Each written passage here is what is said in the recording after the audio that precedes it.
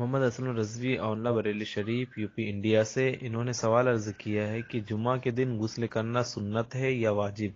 जवाब इनायत फरमा दें। जुमा के दिन गुस्ल करना सुन्नत है, वाजिब नहीं है।